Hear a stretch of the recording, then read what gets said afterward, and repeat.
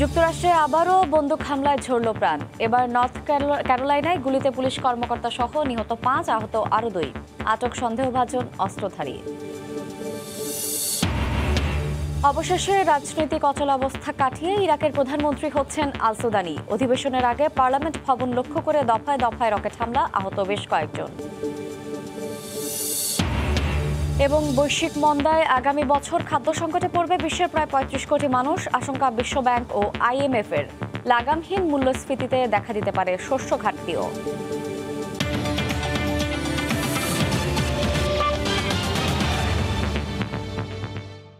আন্তর্জাতিক সময়ের সঙ্গে আছি আমি শায়লা রহমান ইমা। আবারও বন্দুক হামলায় প্রাণ ছড়ল যুক্তরাষ্ট্রে।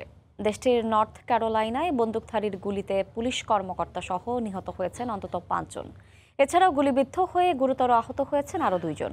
হামলার পরপরই ঘটনাস্থল থেকে সন্দেহভাজন এক হামলাকারীকে আটক করেছে পুলিশ। যদিও অস্ত্রধারীর পরিচয় সম্পর্কে এখনও কিছু জানা যায়নি। বৃহস্পতিবার স্থানীয় সময় সন্ধ্যার দিকে যুক্তরাষ্ট্রের নর্থ ক্যারোলাইনার রেলে এলাকায় অতর্কিতভাবে গুলি ছুটতে থাকে এক বন্দুকধারী। এতে ঘটনাস্থলে বেশ কয়েকজন নিহত হন। এদের মধ্যে এক পুলিশ কর্মকর্তাও ছিলেন বলে জানা যায়। খবর পেয়ে দ্রুত ঘটনাস্থলে পৌঁছে আহতদের উদ্ধার করে হাসপাতালে ভর্তি করা হয়। ঘটনার পরপরই সন্দেহভাজন বন্দুকধারীকে আটক করে পুলিশ। বন্দুকধারী একজন শ্বেতাঙ্গ কিশোর বলে জানা গেছে। এদিকে হামলার পর থমথমে অবস্থা বিরাজ করছে ওই এলাকায়। ঘটনাস্থলে নিরাপত্তা জোরদারে পুলিশ মোতায়েন করা হয়েছে। প্রয়োজন ছাড়া ঘর থেকে বাইরে বের না হওয়ার নির্দেশ দিয়েছে স্থানীয় প্রশাসন। গেল কয়েক বছর ধরে যুক্তরাষ্ট্রে বন্দুক হামলা ব্যাপক হারে বেড়েছে। রাইসা জান্নাত, সময় সংবাদ। যুক্তরাষ্ট্রের ফ্লোরিডায় দু হাজার আঠারো সালে স্কুলে গুলি করে সতেরো জনকে হত্যার ঘটনায় বন্দুকধারীতে যাবজ্জীবন কারাদণ্ড দিয়েছেন আদালত। তবে মৃত্যুদণ্ড না দেওয়ায় তীব্র হতাশা প্রকাশ করেছেন নিহতদের পরিবারের সদস্যরা। বারো সদস্যের জুরি বোর্ড এ রায় দেন। আসামি চব্বিশ বছর বয়সী নিকোলাস ক্রুজ ফ্লোরিডার পার্কল্যান্ডের একটি স্কুলে শিক্ষার্থী সহ সতেরো জনকে হত্যা করেছিলেন। গত বছরের ফেব্রুয়ারিতে আদালতে তিনি দোষও স্বীকার করেন। যুক্তরাষ্ট্রে অন্যতম বন্দুক সহিংসতার ঘটনা এটি। এই ঘটনা যুক্তরাষ্ট্র জুড়ে বন্দুক বিরোধী বিক্ষোভের পাশাপাশি মার্চ ফর আওয়ার লাইফস আন্দোলনের সূত্রপাত ঘটেছিল।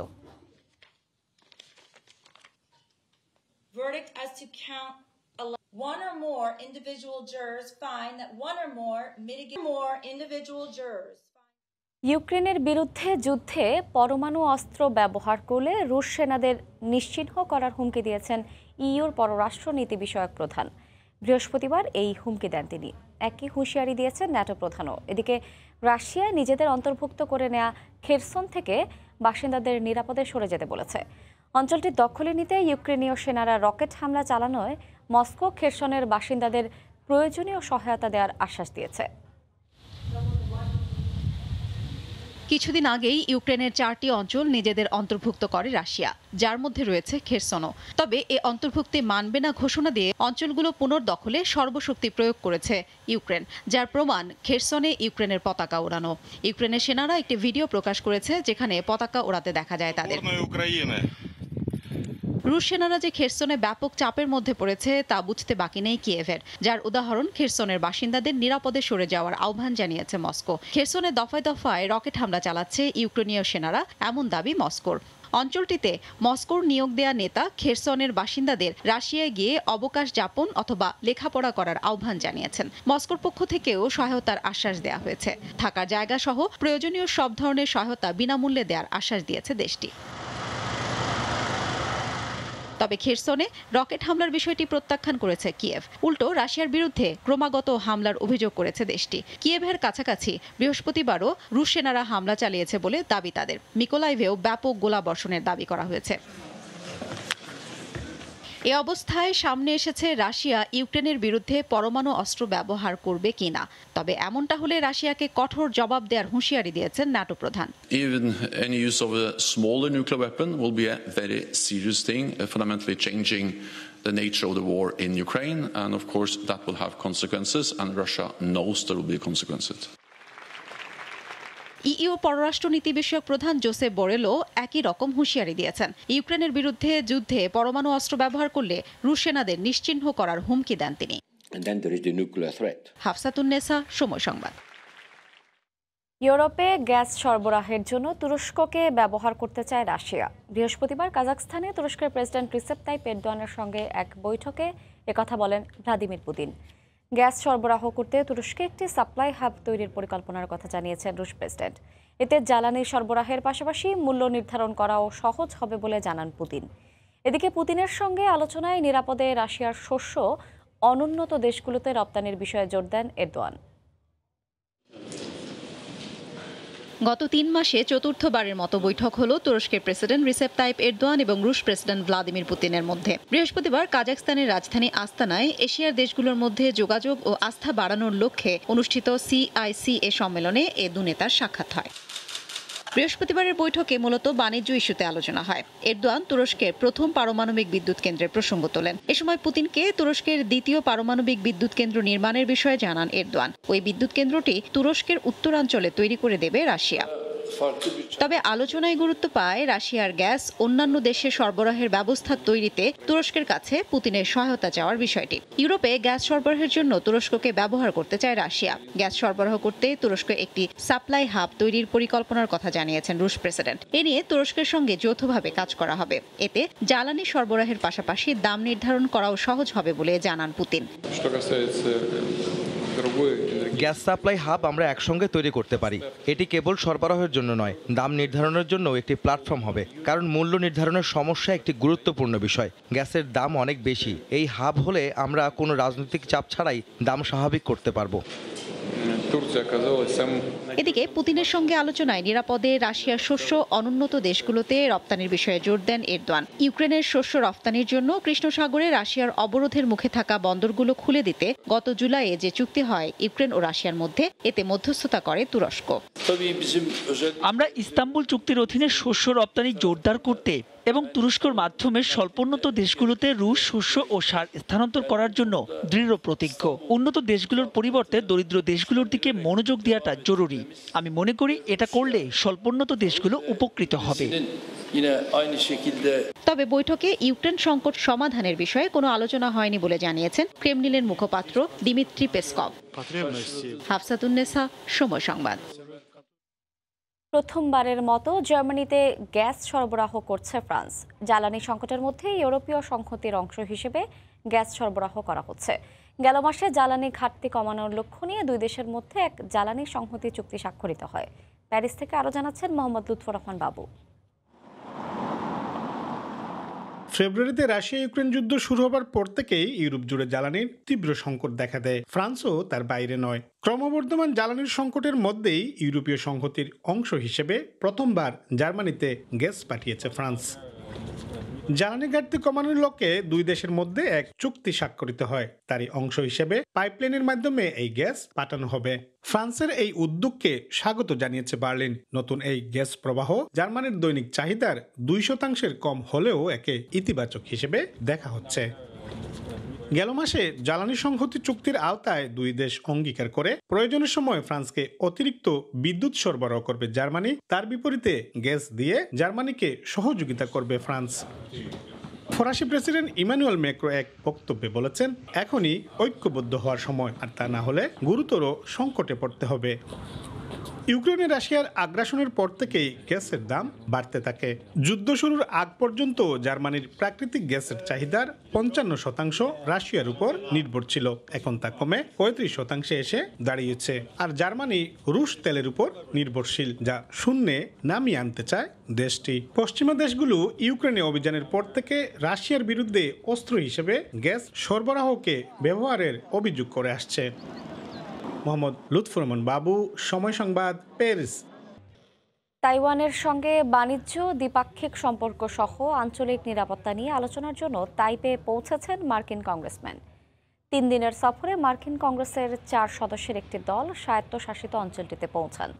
চীনের সঙ্গে ক্রমবর্ধমান উত্তেজনার মধ্যে এক মাসেই তাইওয়ানে তৃতীয় দফায় মার্কিন প্রতিনিধি দলের সফর। তারা তাইওয়ানের প্রেসিডেন্ট সহ অন্যান্য নেতাকর্মীদের সঙ্গে নানা বিষয়ে আলোচনা করবেন বলে জানিয়েছে গণমাধ্যম।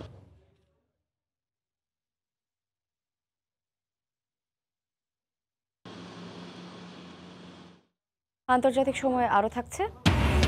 ক্যাপিটাল হিলে দাঙ্গায় উস্কানির মামলায় ট্রাম্পকে সাক্ষ্য দিতে সমন জারি। অমান্য করলে হতে পারে কারাদণ্ড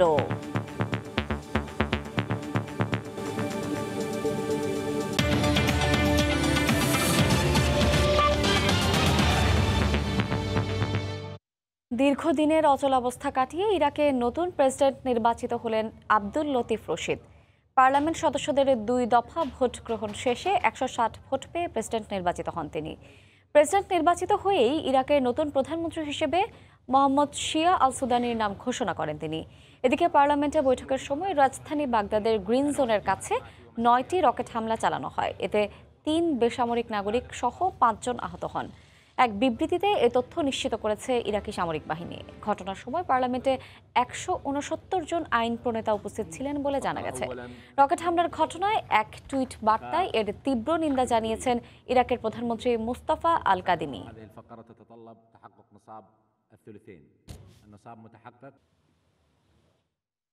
ইরানে পুলিশি হেফাজতে তরুণী মৃত্যুর প্রতিবাদে চলমান বিক্ষোভ পশ্চিমাদের মদদেই হচ্ছে বলে অভিযোগ করেছেন দেশটির সর্বোচ্চ ধর্মীয় নেতা আয়তুল্লাহ আল খামিনি। আর এ ঘটনায় সরাসরি যুক্তরাষ্ট্রকেই দায়ী করছেন প্রেসিডেন্ট রাইসি। এর মধ্যেই ইরানকে শাস্তি দিলে ইউরোপের বিরুদ্ধে পাল্টা ব্যবস্থা নেওয়ার হুঁশিয়ারি দিয়েছে দেশটির পররাষ্ট্র মন্ত্রণালয়। এদিকে চলমান বিক্ষোভ দাঙ্গার মূল হোতাদের কঠোর শাস্তি দেওয়ার নির্দেশ দিয়েছেন দেশটির বিচার বিভাগের প্রধান। গত মাসের ষোলো তারিখে পুলিশি হেফাজতে মাসা আমিনের মৃত্যুর পর থেকেই ইরান জুড়ে চলছে বিক্ষোভ। এরই মধ্যে দেড় শতাধিক মানুষ প্রাণ হারিয়েছেন। চলমান বিক্ষোভের শুরু থেকেই পশ্চিমারা মদত দিচ্ছে বলে অভিযোগ করে আসছে ইরান সরকার। বুধবারও দেশটির সর্বোচ্চ ধর্মীয় নেতা একই অভিযোগ করেন। বলেন শত্রুরা ইরানের বিরুদ্ধে অপপ্রচারে নেমেছে। তবে সুনির্দিষ্টভাবে কোনো দেশের নাম নেননি তিনি। এই বিক্ষোভের পরিকল্পনা দেশের ভেতর হয়নি। শত্রুরা এটা করেছে। তারা আমাদের বিরুদ্ধে মিথ্যা প্রচারণা চালাচ্ছে। সহিংসতা অব্যাহত রাখতে উস্কানি দেয়া হচ্ছে। এদিকে বিক্ষোভের ঘটনায় সরাসরি যুক্তরাষ্ট্র ও তার মিত্রদের দায়ী করেছেন দেশটির প্রেসিডেন্ট ইব্রাহিম রাইসি। বলেন নিষেধাজ্ঞা দিয়ে কিছু করতে না পেরে ইরানে অস্থিরতা সৃষ্টির চেষ্টা চলছে। তারা আমাদেরকে নানাভাবে চাপে ফেলতে চেয়েছে, কিন্তু তারা সবসময় ব্যর্থ হয়েছে। এখন চাচ্ছে আমাদের মধ্যে বিভেদ সৃষ্টি করতে। ইরানিরা অবশ্যই তাদের রুখে দেবে। একই দিন দেশটির পররাষ্ট্রমন্ত্রী হুশিয়ারি উচ্চারণ করে বলেছেন, সাম্প্রতিক নৈরাজ্য দাঙ্গাকে অজুহাত করে ইউরোপীয় ইউনিয়ন যদি তেহরানের বিরুদ্ধে কোনো ব্যবস্থা নেয়, তাহলে ইরানও পাল্টা জবাব দেবে। নিজেদের অভ্যন্তরীণ ইস্যুতে নাক না গলানোর আহ্বান জানান তিনি। এর মধ্যে আন্দোলনকারী ও তাদের যারা পরিচালনা করছেন তাদের কঠোর শাস্তির আওতায় আনার নির্দেশ দিয়েছেন ইরানের বিচার বিভাগের প্রধান। বৃহস্পতিবার দেশের সব বিচারককে এই নির্দেশ দিয়েছেন তিনি। রাহানুল রানা সময় সংবাদ। মন্দার কবলে পড়লে বিশ্বের ৩৫ কোটি মানুষ খাদ্য সংকটে পড়বে বলে শঙ্কা প্রকাশ করছে বিশ্বব্যাংক ও আইএমএফ বিশ্বে আটচল্লিশটি দেশের প্রায় চার কোটি মানুষ এখন আছে চরম খাদ্য সংকটে। আইএমএফ বলছে এর মধ্যে কোস্টারিকা বসনিয়া ও রুয়ান্ডার অবস্থা সবচেয়ে খারাপ। যুক্তরাষ্ট্রের ওয়াশিংটন ডিসি থেকে স্যানবি রুপলের রিপোর্ট। করোনা মহামারী রাশিয়া ইউক্রেন যুদ্ধ আর মোরল দেশগুলোর আধিপত্য বিস্তারের চেষ্টা বিশ্বকে ঠেলে দিচ্ছে ঝুঁকির মধ্যে। এর মধ্যে এই সংকটের আগুনের আঁচ লেগেছে ছোট, বড়, সব অর্থনীতির দেশের। আগামী বছরে বিশ্ব মহামন্দা জেকে বসতে পারে আবারও এমন সতর্কতা দিল উন্নয়ন সহযোগী সংস্থা বিশ্বব্যাংক ও আইএমএফ সংস্থা দুটি বলছে, জ্বালানির চড়া দাম ও লাগামহীন মূল্যস্ফীতিতে সৃষ্টি হবে খাদ্য ঘাটতি। এ সংকট থেকে মানুষকে বাঁচাতে সরকারগুলোকে সতর্ক হওয়ার তাগিদ তাদের। করোনার পরপরই রুশ ইউক্রেন যুদ্ধ, এর ওপর প্রতি মহাদেশে জলবায়ু দুর্যোগ মানুষের জীবনযাত্রাকে অসহনীয় করে তুলেছে। এ সময়ে খাদ্যপণ্যের দাম যেমন বেড়েছে, তেমনি বাড়েনি উপার্জন। আমরা দেখেছি তিন দেশের এরই মধ্যে ৪৫ মিলিয়ন মানুষ খাদ্য সংকটে। এ কারণে শিশু, নারী ও পুরুষ মারা যেতে পারে খাবারের অভাবে। এখন শক্তিশালী খাদ্য নিরাপত্তার বলয় নিয়ে ভাবতে হবে। আইএমএফ বিশ্বব্যাংক বলছে উন্নয়নশীল দেশের জন্য মন্দা হবে ভয়াবহ। সংকট এড়াতে তাই মূল্যস্ফীতির লাগাম টানার পরামর্শ তাদের। বার্ষিক সম্মেলনের চতুর্থ দিনে বিশ্বব্যাংক প্রধান জানান গরিব মানুষকে নিয়ে শঙ্কার কথা।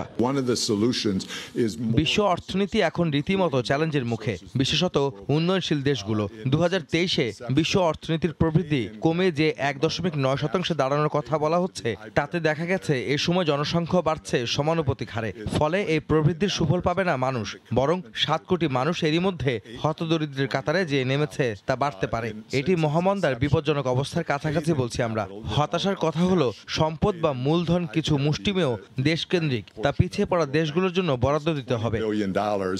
আইএমএফ প্রধান মনে করেন, জ্বালানি সংকট আগামী দিনের অর্থনীতির গতি প্রকৃতি ঠিক করবে। সংকট সামাল দিতে, তাই মুদ্রানীতি ও রাজস্ব নীতিতে সতর্ক সমন্বয়ের তাগিদ দেওয়া হয়েছে। খাদ্যপণ্য ও জ্বালানি তেলের দাম বৃদ্ধি আসন্ন সংকটের সবচেয়ে বড় কারণ হিসেবে দেখা হচ্ছে। আর এই সংকট থেকে রেহাই পাবে না পিছিয়ে পড়া দেশ, উন্নত দেশ কেউই। তাই এই সংকট মোকাবিলায় বিশ্ববাসী কি এখনও বসে থাকবে? নাকি সামনের দিনগুলোতে সবাই ঐক্যবদ্ধ হয়ে কাজ করবে? সেই প্রশ্ন রাখা হয়েছে সম্মেলন থেকে। সানবীর রুপল, সময় সংবাদ, ওয়াশিংটন ডিসি, যুক্তরাষ্ট্র। সাবেক মার্কিন প্রেসিডেন্ট ডোনাল্ড ট্রাম্পের সামাজিক যোগাযোগ মাধ্যম অ্যাপ ট্রুথ সোশ্যাল প্লে স্টোরে বিতরণের অনুমোদন দিয়েছে গুগল। বুধবার এ তথ্য নিশ্চিত করেছেন গুগলের এক মুখপাত্র। এর মধ্য দিয়ে এখন থেকে খুব সহজেই অ্যাপটি প্লে স্টোর থেকে ডাউনলোড করতে পারবেন ব্যবহারকারীরা। তবে এ বিষয়ে এখনও মুখ খোলেনি ট্রাম্প মিডিয়া অ্যান্ড টেকনোলজি। গত বছর ক্যাপিটাল হিলে হামলায় টুইটারে সন্ত্রাসীদের উদ্দেশ্যে উস্কানিমূলক পোস্ট দেয় ফেসবুক সহ সামাজিক যোগাযোগ মাধ্যমগুলোতে। নিষিদ্ধ করা হয় ট্রাম্পকে। এরপর ট্রুথ সোশ্যাল নামের সামাজিক যোগাযোগ মাধ্যম চালু করেন তিনি। তবে এতদিন অ্যাপটিকে প্লে স্টোরে রাখার অনুমোদন দেয়নি Google.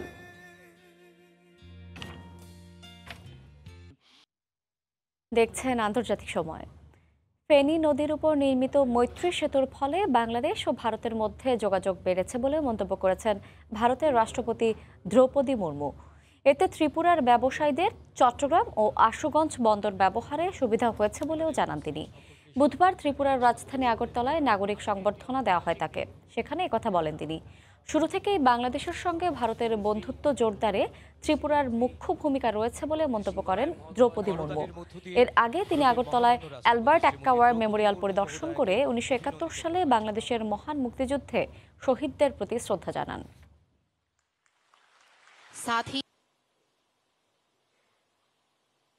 for law and education mr বিশ্বে মাঙ্কিপক্সে আক্রান্ত রোগের সংখ্যা সত্তর হাজার ছাড়িয়েছে। এছাড়া এখন পর্যন্ত সংক্রমিত হয়ে মারা গেছেন ছাব্বিশ জন। বুধবার জেনেভায় এক সংবাদ সম্মেলনে এ তথ্য নিশ্চিত করেছেন বিশ্ব স্বাস্থ্য সংস্থার মহাপরিচালক তেদ্রোস আধানম গ্যাব্রিয়েসুস যুক্তরাষ্ট্রসহ বেশ কয়েকটি দেশে গেল সপ্তাহে সংক্রমণ বেড়ে যাওয়ায় সতর্ক থাকার নির্দেশও দেন তিনি। এছাড়া বিশ্বের বিভিন্ন দেশে মাঙ্কিপক্সের পরীক্ষার সক্ষমতা বাড়াতে বিশ্ব স্বাস্থ্য সংস্থা কাজ করে যাচ্ছে বলে জানান গ্যাব্রিয়েসুস বিশ্বে এখন পর্যন্ত মাঙ্কিপক্সে আক্রান্ত হওয়া সাতানব্বই ভাগ পুরুষ.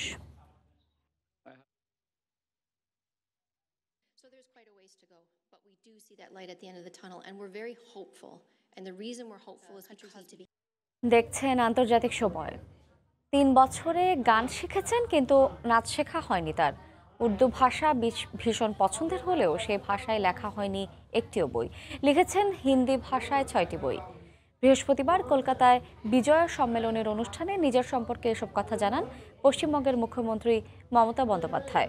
দুর্গাপূজাকে ইউনেস্কো স্বীকৃতি দেওয়ায় তাদের ধন্যবাদ জানিয়ে আগামীতে আরও ভালোভাবে ধর্মীয় উৎসব পালনের আশাবাদ ব্যক্ত করেন তিনি। কলকাতা থেকে বিস্তারিত জানাচ্ছেন সুব্রত আচার্য। কথায় আছে, যিনি রাধেন, তিনি চুলও বাঁধেন। দু হাজার এগারো সাল থেকে পশ্চিমবঙ্গের মুখ্যমন্ত্রীর দায়িত্ব সামলে একের পর এক লিখে যাচ্ছেন বই। শুধু বই নয়, আঁকছেন ছবি এবং লিখছেন গানও। পাশাপাশি দিচ্ছেন সুর, করছেন মিউজিক ভিডিও। বৃহস্পতিবার স্থানীয় সময় সন্ধ্যায় কলকাতার ভবানীপুরের বিজয়া সম্মেলনী অনুষ্ঠানে বক্তব্য রাখেন মমতা। এ সময় নিজের জীবনের বেশ কিছু অপ্রকাশিত তথ্য জানান তিনি। বলেন, তিন বছর গান শিখলেও নাচ শেখা হয়নি। তবে কিশোর বয়সে রবীন্দ্রসঙ্গীতের তালে তালে পা মিলিয়েছেন তিনি তিনটে বছর গান শিখেছিলাম অফিসিয়ালি এবং থার্ড ইয়ার পর্যন্ত করে আর আমার করা হয়নি। তার মধ্যেই যতটুকু সারে গামাপা বা কিছু খেয়াল বা কিছু শিখেছিলাম, সেইটা থেকেই পটাপট এখনও ইধার উধার করে গানের একটা আইডিয়া আছে। দু হাজার একুশ সালে কলকাতার দুর্গাপূজা ইউনেস্কোর স্বীকৃতি পায়। আর তাই এবার শারদীয় দুর্গা উৎসবের সূচনা হয় এক মাস আগে থেকেই। পূজা সফলভাবে আয়োজন করায় সংশ্লিষ্টদের ধন্যবাদও জানান মমতা। দুর্গাপুজোর কত আগে? এক মাস আগে থেকে। আমি সারা বাংলা, সারা দেশ, সারা পৃথিবী প্রশাসন থেকে শুরু করে সবাইকে আমাদের প্রাণের অভিনন্দন জানাব এই কারণে। যে সেই ইউনেস্কোকে কনগ্রাচুলেশন জানানো থেকে, পয়লা সেপ্টেম্বর থেকে আমাদের পুজোর বাজনা বেজে গেছিল। এবং আজও কিন্তু আমরা সব স্বপ্নের মতো মনে হচ্ছে। বাংলা, ইংরেজি, হিন্দি ছাড়াও রাজবংশীদের ভাষাতেও মমতা বন্দ্যোপাধ্যায়ের বই প্রকাশিত হয়েছে। এ যাবৎ তার প্রকাশিত বইয়ের সংখ্যা একশো আঠাশ। সুব্রত আচার্য, সমসংবাদ, পশ্চিমবঙ্গ, ভারত। দেশের ক্রিকেট প্রশাসনের শীর্ষ পদ হারালেও কোনো আক্ষেপ নেই ভারতীয় ক্রিকেটার মহারাজা সৌরভ গাঙ্গুলির। বরং তিনি নতুন লক্ষ্য নির্ধারণ করে এগোচ্ছেন বলে দাবি করেছেন। যদিও সেই লক্ষ্য আইসিসি কিনা সেটা রহস্যের মোড়কেই রাখলেন দাদা। বৃহস্পতিবার কলকাতায় একটি বেসরকারি ব্যাংকের অ্যাম্বাসেডর হিসেবে নাম লেখান সৌরভ। বিসিসিআই প্রেসিডেন্ট পদ হারানোর বিষয়ে এ সময় মুখ খোলেন ভারতীয় ক্রিকেট দলের সাবেক এই অধিনায়ক। বিশ্বজিৎ দাসের ক্যামেরায় বিস্তারিত জানাচ্ছেন সুব্রত আচার্য। ভারতের ক্রিকেটের নীতি নির্ধারক সংস্থা বিসিসিআই এর প্রেসিডেন্ট পদ হারালেও জীবনের লক্ষ্য পূরণে ক্রিজ থেকে সরছেন না সৌরভ গঙ্গোপাধ্যায়। তিল তিল করে নিজেকে যেভাবে গড়ে তুলেছেন আগামীতেও একইভাবে নিজের লক্ষ্য মতোই এগোবেন। বৃহস্পতিবার কলকাতায় দেশটির একটি বেসরকারি ব্যাংকের ব্র্যান্ড অ্যাম্বাসেডর হিসেবে আত্মপ্রকাশ করেন সৌরভ। আনুষ্ঠানিকভাবে ব্র্যান্ড অ্যাম্বাসেডরের পদ গ্রহণ করার পর দীর্ঘ সময় বিভিন্ন প্রশ্নের উত্তরও দেন তিনি। বিসিসিআই এর সদস্য পদ হারানো নিয়ে সেখানেই মুখ খোলেন। আমি ভারতের হয়ে খেলার পরে বাংলার ক্রিকেট সংস্থার সভাপতি হয়েছি। তারপরে সেখান থেকে বিসিসিআই সভাপতি হয়েছি। ভবিষ্যতে আরও বড় কিছু করব। কিন্তু খেলোয়াড় জীবনের পনেরো বছর আমার জীবনের সব থেকে ভালো সময়। ক্রিকেটার হিসেবে জীবনের শুরু হলেও প্রশাসক হিসেবে জীবনের শেষ বলেও দাবি করেন সৌরভ। বলেন জীবন শূন্য থেকেই শুরু হয়। বিসিসিআই সভাপতি হিসেবে তার সময়কালে বিভিন্ন কর্মকাণ্ডের কথাও তুলে ধরেন সৌরভ গঙ্গোপাধ্যায়। সবাই শেষটাই দেখে কিন্তু বোঝার চেষ্টা করে না যে আমাদের সবাইকে শূন্য থেকে শুরু করতে হয়। প্রশাসক হিসেবে হয়তো আমার এখানে ইতি এখন হয়তো আমাকে নতুন ভূমিকায় দেখা যাবে সেখানেও শূন্য থেকে শুরু করতে হবে। কোভিডের মতো দুঃসহ সময়ে সফলভাবে আইপিএল আয়োজন করেছি আমরা। কমনওয়েলথ গেমসে ভারতের মহিলা ক্রিকেট দল রৌপ্য জিতেছে। ভারতের পুরুষ দল বিদেশের মাটিতে অভাবনীয় সাফল্য পেয়েছে। ভারতীয় ক্রিকেটে একটা অন্যরকম শক্তি দেখা যাচ্ছে। তবে ক্রিকেটার হিসেবে সময়টা আলাদা ছিল। সারা জীবন ধরে প্রশাসক থাকতে পারে না। অনুষ্ঠানের সঞ্চালক কৌশল করে বারবারই সৌরভের নতুন লক্ষ্য নিয়ে প্রশ্ন করার চেষ্টা করলেও তিনি ঠিক কি করবেন সেটা পরিষ্কার করেননি। এমনকি নতুন লক্ষ্য আইসিসি কিনা সেটাও খোলসা করেননি মহারাজ। সুব্রত আচার্য সমসংবাদ পশ্চিমবঙ্গ ভারত। আয়ারল্যান্ডে সৌন্দর্যের লীলাভূমি ক্লিপস অব মোহের করোনাকালীন ভ্রমণ নিষেধাজ্ঞা থাকায় পর্যটক শূন্য ছিল এই বিখ্যাত স্থানটি। এবছর থেকে পর্যটকদের পদচারণায় আবারও মুখর হয়ে উঠছে আয়ারল্যান্ডের জনপ্রিয় এই পর্যটক এলাকাটি। বিস্তারিত সৈয়দ জুয়েলের রিপোর্টে।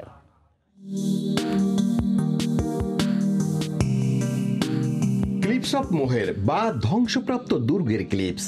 ক্লিপসের দক্ষিণ প্রান্তে আটলান্টিক মহাসাগর থেকে তিনশো নব্বই ফুট উত্তরে সর্বোচ্চ, সাতশো বিশ ফুট উচ্চতায় ব্রাইন টাওয়ারে পৌঁছে গেছে। আটলান্টিক মহাসাগর থেকে অনেক উঁচুতে এই ক্লিপস থাকায় হিমেল হাওয়া সবসময় বয়ে যায় এখানে। ক্লিপস অফ মোহের থেকে গলয় বের আরাম দ্বীপপুঞ্জ মোমতুক বারো পিন্স পর্বতমালা ও লুপহেড দেখা যায়। আয়ারল্যান্ডে যতগুলো দর্শনীয় স্থান রয়েছে তার মাঝে এখানেই পর্যটকরা আসেন সবচেয়ে বেশি। ক্লিপগুলোর অনেকগুলো পয়েন্ট রয়েছে। পুরো ক্লিপের সৌন্দর্য দেখতে আঠারো কিলোমিটার ক্লিপ ওয়াক রয়েছে। প্রতি বছর পনেরো লাখেরও বেশি পর্যটক ভ্রমণে আসতো এই ক্লিপস অফ মোহেরে। করোনায় বন্ধ থাকার পর কমাস আগে ভ্রমণ নিষেধাজ্ঞা উঠে যাওয়ায় আবারও মুখর হচ্ছে ভ্রমণ পিপাসুদের পদচারণায়। ইউএসএ থেকে আসছি আয়ারল্যান্ডে এই জায়গাটা ক্লিপস অফ মোহর। এখানে এটা জাস্ট আয়ারল্যান্ডে না পৃথিবীর সবচেয়ে খুব সুন্দর একটা জায়গা। কথিত আছে যে ক্লিপগুলো ত্রিশ কোটি বছরের পুরানো। সৈয়দ জুয়েল সময় সংবাদ আয়ারল্যান্ড। এই ছিল আন্তর্জাতিক সময় সঙ্গে থাকুন সময়।